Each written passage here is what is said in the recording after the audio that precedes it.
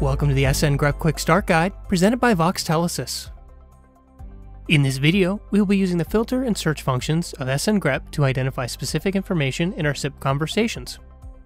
As you can see, there can be quite a bit of data to sift through in order to find the problem with your PBX. The search function allows you to find strings in the headers of currently displayed conversations.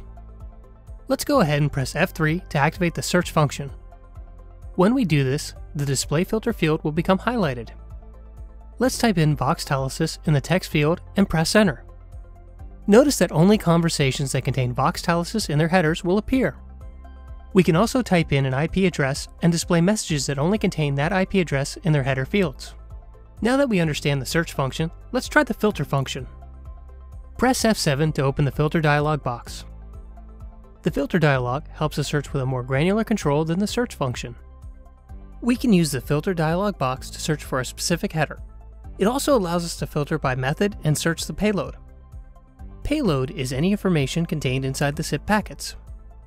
Let's say, for example, that we're having issues receiving voicemail notifications on extension 101. In this case, we would use the filter dialog box to narrow down our search. To do this, first we would type 101 into the SIP from field. Then we would also select only the notify method. Finally, we would type voice message into the payload field. As you can see, only the conversations that contain voicemail notification information are displayed. In this video, we discussed how to filter the conversations in SNGrep. In upcoming videos, we will discuss how to save this information as a PCAP file. If you have any further questions, please check out support.voxtelesys.com.